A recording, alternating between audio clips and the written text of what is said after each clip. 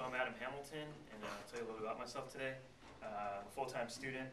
Uh, I'm taking five classes this semester. I'm also the uh, business statistics and Excel tutor here, so if you need help, just come find me.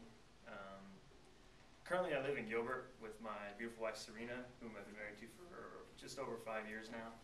And uh, I choose to make the commute here because this is where I started going to school. I lived in Laveen when I first moved here, and I already know some teachers and business faculty very well, so I just wanted to come here. That said, this is my last semester, um, and I'm planning on attending ASU this fall.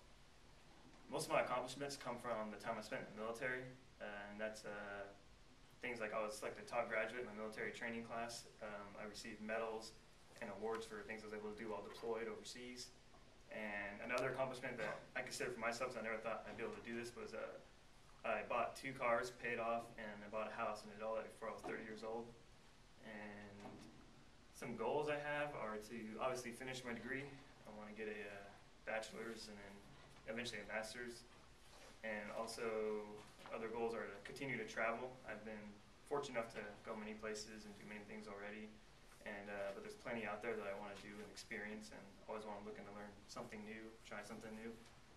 And um, my favorite quote I would have to say is, well, it's one of my favorite, lots, but uh, it was from Henry Ford, and he said, whether you think you can or can't, you're right.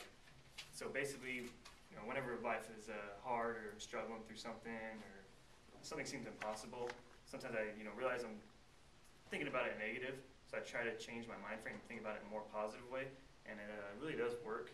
It, uh, you know, shows how how we choose to approach things mentally, some obstacles in events life, really has a great impact on the outcomes.